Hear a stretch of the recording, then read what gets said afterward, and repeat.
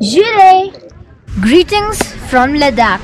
We are now here by beside Pangong Lake with a Ladakhi costume. This is where the movie Three Idiots was shot. Ting, ting, ting, ting, down to ting, ting, ting. Hold. There. One, two, one,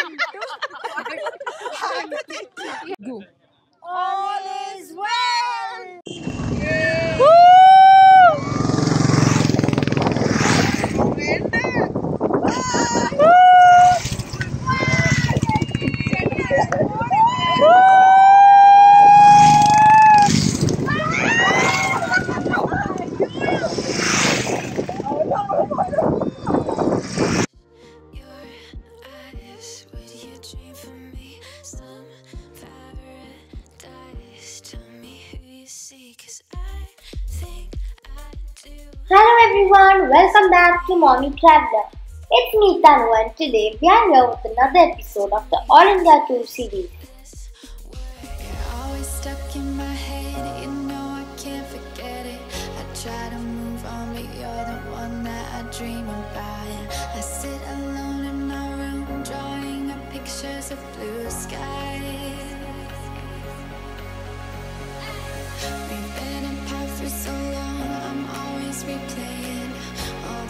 pictures and memories stacked up in my head. I wish I could let you go, I wish I could just forget you. I can never shake you off.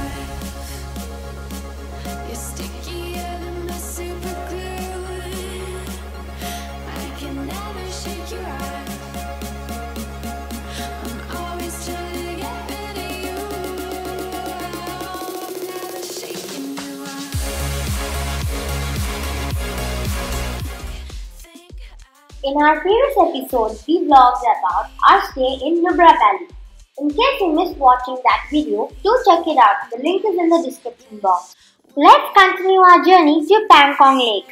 It is one of the highest altitude lakes in the world that is filled with saline water.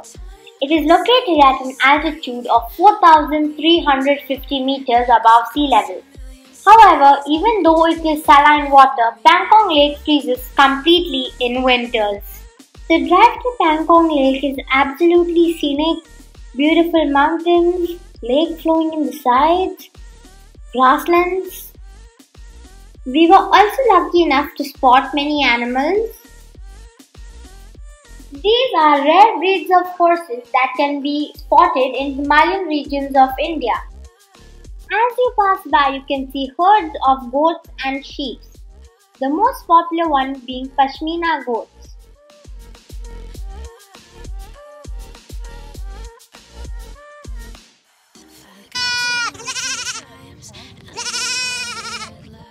Himalayan marmot is a big squirrel that lives in mountainous areas. Marmots typically live in burrows and hibernate in winters. Again, these are found in the Himalayan region. I'm not sure if you can really spot them on the camera because these animals camouflage with the mountains. They're called blue sheep. You can also spot a lot of yak farms on your way.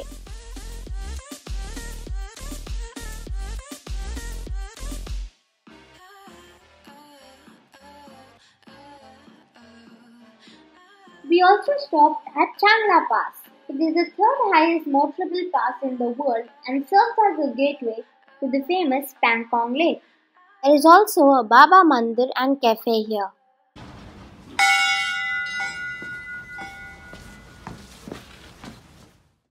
Finally, we get to see the first glimpse of Pangong Lake. After about 6 hours of journey, we finally reached Pangong Lake. This area is strictly under army surveillance as it is bordering China. These white colored domes you see are army camps. The blue lake surrounded by yellow mountains is a soothing sight.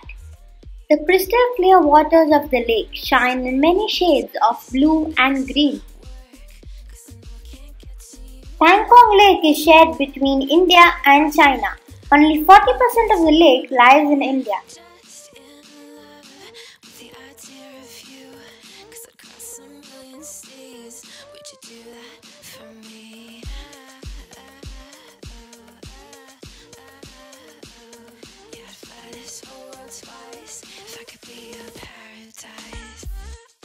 Sulma is a flowing robe worn by females. Females use bright colored sash to tie around the waist. Yogur and lokpa are the traditional cake. Tipi is the hat.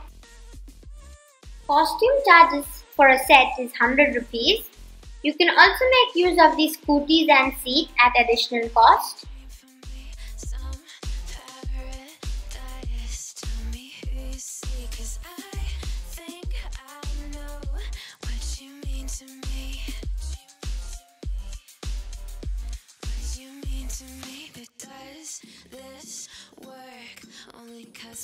Say what we think. Waiting for the perfect way. Time speak. Got me on delay. 'Cause across a million seas, would you do that for me?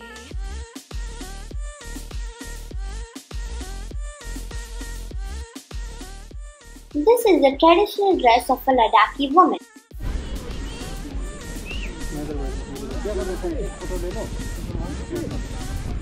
Gilet. It was so much fun posing and dancing in front of Pangong Lake.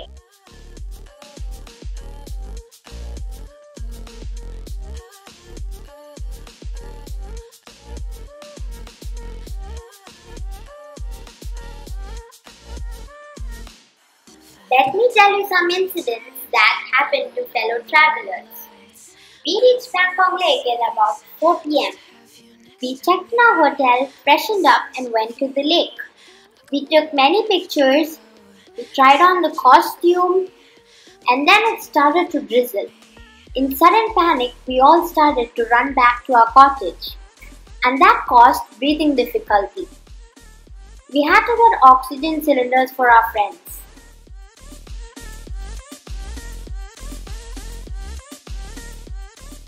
We also saw some women who came with photo plates.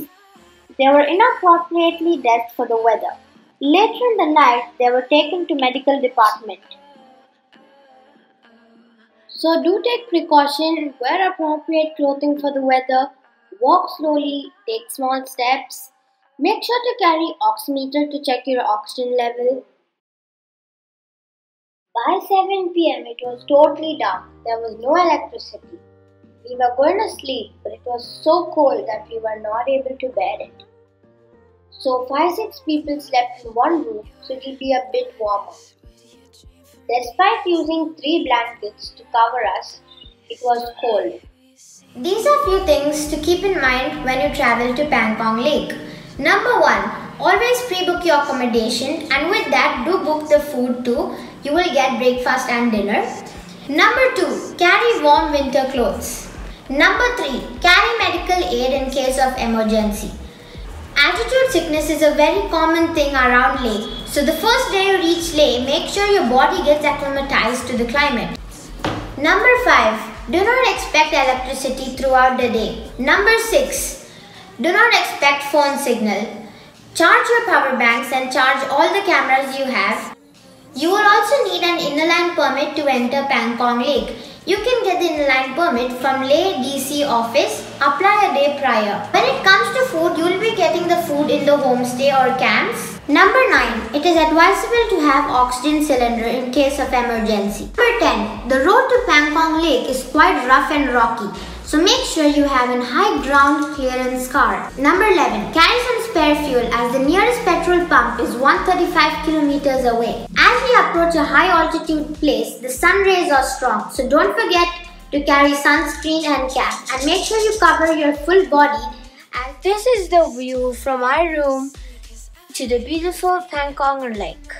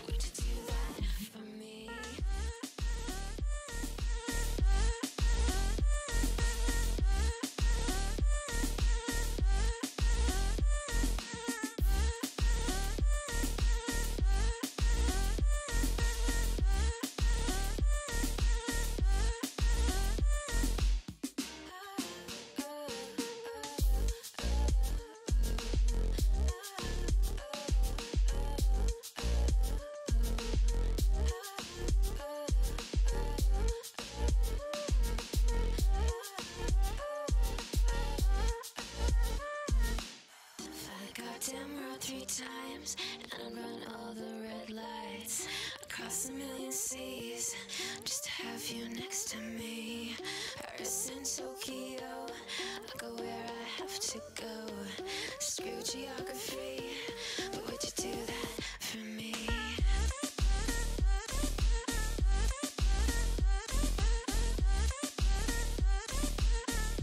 This is the highest saltwater lake in India at about 13 to 14 14,000 feet.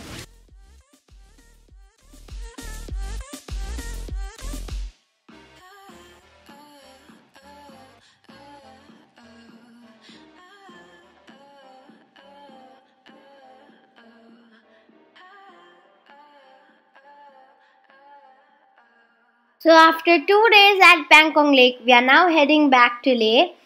On the way, we have more things to cover, so do stay tuned for our upcoming videos. We hope you liked our video. If you did, don't forget to give us a thumbs up, subscribe to our channel and share this video with your friends and family. Don't forget to follow us on Instagram at Mommy Traveller. Much love, Anu and Tanu. Bye bye. Thank you for watching.